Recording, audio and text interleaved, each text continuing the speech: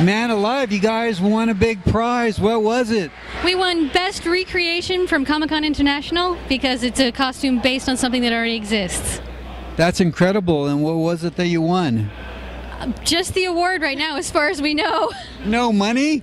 Not yet. So we don't know anything else, just the award so far. Well, you guys look great. You know, your costumes are just fantastic. You're all so beautiful. I mean, it's amazing what you did. Thank you. And just think how many people that didn't win any prize at all.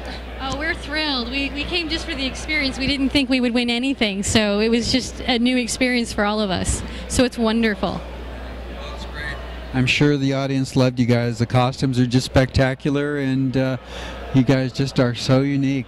Well, thank you very much. So have a great evening. Congratulations. You go this way.